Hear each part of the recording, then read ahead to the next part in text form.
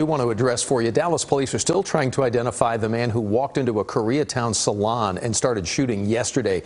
These images are new today. Three women were injured yesterday afternoon when this went down. The images you see here uh, of the suspect captured by a nearby surveillance camera. They're not great pictures, but that's all we have to go on at the moment. Andrea Lucia, uh, Lucia live outside the salon today with where we stand in the investigation as of right now. Andrea?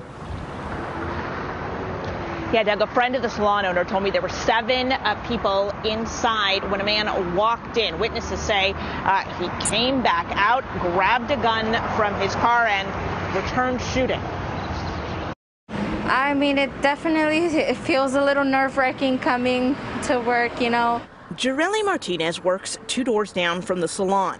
The lights of an ambulance caught her attention yesterday, and she walked out to find a victim covered in blood. She had blood on her face and her feet.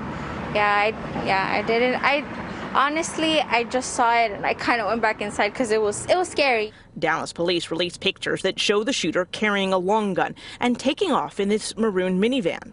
Everybody's scared and uh, fear and got a fear because what happened yesterday. Brian On with the Korean Society of Dallas says with no clear motive, people are worried.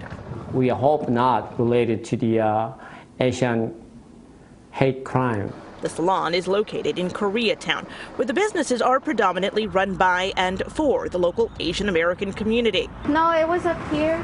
Recently, Jarelli told us a bullet from a drive-by shooting hit her workplace window.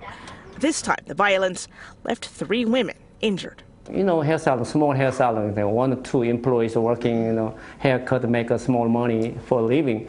But why he got a gun in over there, shoot it. So we don't know. It's like uh, people, many small business around here, oh my God, it, it, it happens for me.